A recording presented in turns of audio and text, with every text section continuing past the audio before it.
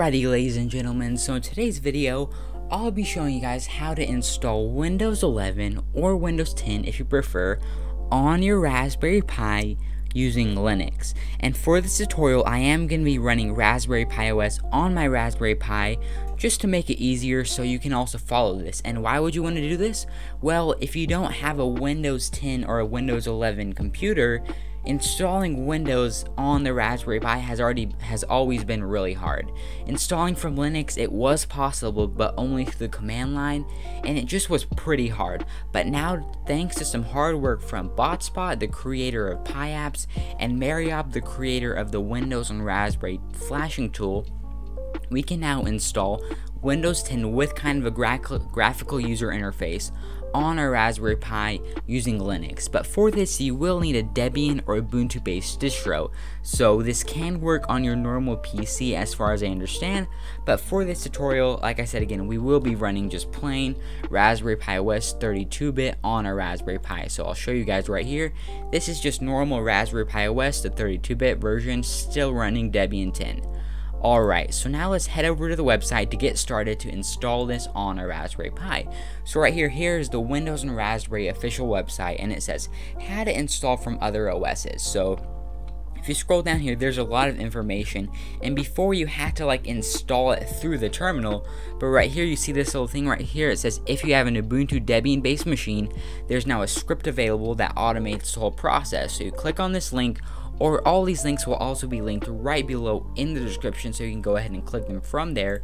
But right here, here we have BotSpot's GitHub page and it's called the WOR Flasher. So WOR Flasher use a Linux machine to install Windows 10 or Windows 11 on a Raspberry Pi SD card. So it says a year ago this was flat out impossible. In July 2021 they required following a complicated tutorial. Now using the new WOR Flasher it's a piece of cake. So he, they really have put a lot of hard work into this, and I think it's gonna be pretty cool to be able to do it. And the reason this is, this tool is 100% legal. Everything it's downloading, it's downloading Windows from the official Microsoft servers. So you don't need to worry about any legal issues or anything like that. This is completely safe and it is legal. So to so to download the WOR flasher, we're gonna just copy the script, click this button right here, and open up your terminal. You can go you can go Control Alt T if you like, and then we're just gonna paste this little script right in here. It's gonna download it from GitHub, and it's already done. So now we copy this one right here to run the WOR flasher. And before I do mention, we will need another SD card, USB drive, or some type of other device to be installing Windows 10 on. Since if you're if you're running this on a Raspberry Pi, you're not going to want to install Windows on the same drive you're running the Raspberry Pi OS from. It's not going to work like that. So I'm going to be using an extra SD card I have plugged in with the SD card adapter into my Raspberry Pi to be able to do this. So yeah. So we're going to paste this in right here and just hit enter. It's going to start installing all the needed packages because it's actually using YAD for the graphical user interface, which is kind of like a tool that Botspot uses in almost all of its applications, including Pi apps. So let this thing get all the needed dependencies, and then we'll just go right ahead and install it. So here, there's more information on the GitHub page if you need it, but or you can just follow this tutorial because I will go through almost every step of the way to show you guys how to do it in a very easy and simple way. So let's let this thing just completely finish downloading everything needed and then we'll be ready. Alright, here we go. Here we're going to start right now. It says, Welcome to Windows on Raspberry.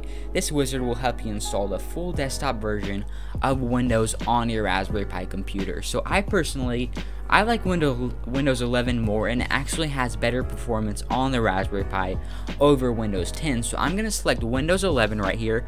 But like I said, you can go ahead and choose Windows 10 if you want. And I'm going to go a Pi 4 and a Pi 400. So I'm going to click Next. Give it a second right here and the language you want. I do want English from the United States, so I'll be clicking that one right here. You have to click this circle right here. There we go. I want English United States. I'm going to click next. And the device to flash, I only have one device right here, and this is my SD card that I mentioned a little bit earlier. So click the device you want, click next. give it a second and it says installation over overview so make sure the target drive is is correct mine is a 60 gigabyte SD card and hardware type is a Raspberry Pi 4 and my operating system is going to be Windows 11 the latest insider build if you can see right here it's an ARM64 build 2020 or 22,000 and that's that's the correct build I want you can edit the config.txt if you like, like overclocking, you, you could go ahead and overclock right now. But I personally don't really want to do that right now. I'm going to click flash. Click flash, it opens up another window right here, and now it's saying it basically will give you information about what it's doing, but downloading the Windows ISO does take a little while. So what you're going to need to do right now, you're going to need to leave your Raspberry Pi on, Pi on and let this thing do its thing because it will take quite a long time, but just be patient, let this download all the needed files, and you'll be good to go. Alrighty guys, so after a pretty hefty amount of time, it is finally done. And it actually shows this little image right here when it's done by accidentally hit the X before I started recording. But so I'll be showing you guys what we're gonna do. So you see the terminal right here it says the terminal running install at WarAce has been closed, so now we have got everything we need installed on our SD card. So if we look on this image right here, it says boot up the SD card, this screen should appear, which is what it normally does. Don't worry, the screen is not frozen, so this installation method actually is a bit different than the Windows version if you've done that before. So as after 30 minutes, the WOR installer will, will begin extracting Windows to the SD card. It will reboot the system when finished. So with this process, there's still a lot more time that's going to happen after we boot this up. So it says you basically have to wait 30 minutes on this Raspberry Pi logo, which I it's new to me too, but we'll try it out. So what you're going to want to do right now, turn off your Raspberry Pi, unplug the eh, device that you're running Raspberry Pi OS from and just leave the device that you're running that you're going to be running Windows on. Leave that in there, turn your Raspberry Pi on, and you'll see this little Raspberry Pi logo right here, and just leave it on for about 30 minutes, and then we'll start extracting. So let's boot straight into that. Alright, so exactly like it said on that image from the WOR installer, it's going to be waiting on this Raspberry Pi logo right here for a little while.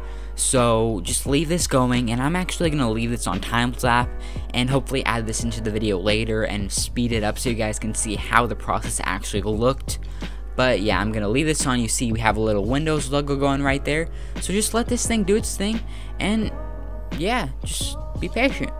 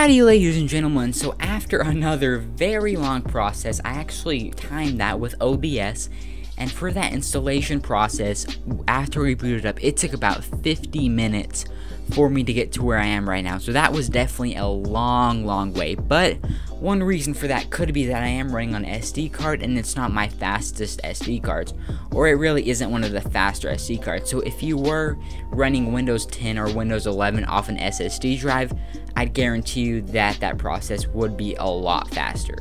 But yeah, so here we are. So let's go through the setup real fast. Is this the right country or region? Yeah.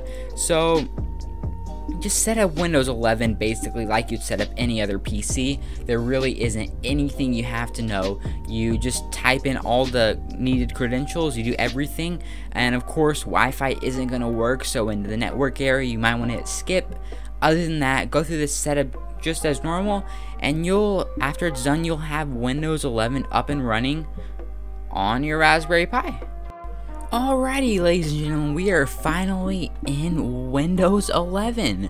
So right here, you can just hit OK right here. That's really not an issue. But, I mean, just hit OK again. This is just going to create a page file for us. But we are finally in Windows 11 and my resolution might look a bit strange right now. That is because I am running this at 720p just for some better performance and that's what it defaulted to. I never had the option to change it yet. But now let's look at our task manager and you see I mean it it's a, it does look a bit slow right now but there are some ways to speed this up and like I said I am running this off an SD card which really can affect the performance. So let's go over to the performance tab and our CPU right here. Also overclocking does help a little bit, but right here we're running at 1.5 giga gigahertz. Our memory, look, this is also an issue. We It's only showing 3 gigabytes of RAM right now. Don't worry guys, there's an easy way to fix that. So to fix that, we're actually going to have to reboot our machine. Click the start menu and click this little button right here. Now, if you do this, you'll be able to access all of your RAM. Like this is an 8 gigabyte Pi I have right here. So soon we'll be able to access all 8 gigabytes of it rather than just 3 gigabytes of it. So wait till it's done restarting. Once it's done restarting, we're going to be pressing the escape button. So get ready to hit the escape button once this is done restarting. So when you see the screen come on in one minute, just hit the escape button. Alright, so right now just hit the escape button and you see now we kind of have a BIOS type of settings menu in our Raspberry Pi. So we're going to want to go oh, oh, down here to device manager, scroll down to Raspberry Pi configuration, click that and go to advanced configuration. Limit RAM to 3 gigabytes. Right now it's enabled. We want to hit that, hit enter, click disabled. Then hit F10 to save it, hit Y to confirm, and now once we reboot back into the system, we'll have access to all of our RAM. Obviously, if you're running this on 2GB Pi, you're not going to need to disable that because it's not going to do anything. But yeah, so that's about it for that. And yeah, so there are some more settings in here that you can go through and look later on, but that's basically the only really important ones that's going to affect the performance. So hit continued right here hit enter to reset, it's going to reboot our machine one more time and then once we're done, we'll be booted back into Windows 11. I want to show you guys a few more things, then we'll close up this video. Alrighty, so now we're booted up into our desktop with Windows 11 and we have access to all 8 gigabytes of our RAM on our Raspberry Pi. But I just want to show you guys a few things before we ended this video. So this is still real Windows 11 but a few things are different. Like a lot of the special effects that you'll see in Windows 11 on the desktop versions aren't going to be working on here, like the rounded corners and just the all cool uh, digital effects that you're going to see. And the main reason for that is we're, we are still missing GPU drivers on Windows on Raspberry Pi, which is kind of a bummer, but without GPU drivers, we just don't have access to some of those things. But one awesome tool that's created by the creator of the Windows on Raspberry Pi Discord server, which I will leave a link to in the description below, you should totally join there. But the admin Amir, he has actually worked on making the Windows on Raspberry control panel, which really does help a lot and just you can customize a lot of settings. So I downloaded it from the Discord server right there. And then there is a light mode and there also is a dark mode. But right now I'm just set to light mode by default and my if you can tell right now, my CPU is maxed out and my RAM is pretty high, but probably the biggest reason for that is I am running this without debloating it, which I could do if I wanted to. And the second reason, I am running this from an extremely, not extremely, but a pretty slow SD card. So upping your storage option will definitely improve performance, plus debloating will also help. But that's basically, you can see those things, you can go to the applications tab, in applications, there are a couple of applications that you can download from here that are native to ARM, which means that they're that they'll natively work on here. They are not going to be emulated, and there is like there's nine of them in here, and they're pretty cool. So I would recommend checking that out. And then in settings right here, there's actually some more settings that we can do. I don't know what that was about. But in settings, huh? Why is CMD opening up? Okay, here we got settings right here. So we have our preset, our processor frequency, so you can really overclock your Raspberry Pi all from the Windows on Raspberry control panel. You can also change your resolution, but all these settings right here are gonna require a reboot to go in effect. So do keep, keep that in mind, but they work really well, and it's nice to be able to control all those things so easily just on Windows on a Raspberry Pi. So that is the Windows on Raspberry control panel and the Discord server really is a big help. If you ever have any issues, any questions, just join up this server. You can ask there. We'll all be there to help you, and it's a great community. So, yeah, I mean, this is how to install Windows 11 on your Raspberry Pi 4 using Linux. You don't need a Windows computer anymore. The, the process does take quite a long time as you saw. If you do try yourself, you'll see. But what I did like is, I just like that it's possible. I mean, you can now uh, install Windows 11 on your Raspberry Pi using Linux. It's just a really cool concept, and of course, this isn't for daily usage, it's just more for playing around. But I recommend you guys trying this out too. If you have any comments about this video or any questions about how do I do this or anything, let me know down below in the comments or hit it up uh, on the Discord server. But yeah, it'd be amazing if you subscribe, maybe that like button, or even follow me over on Twitter at Luke F.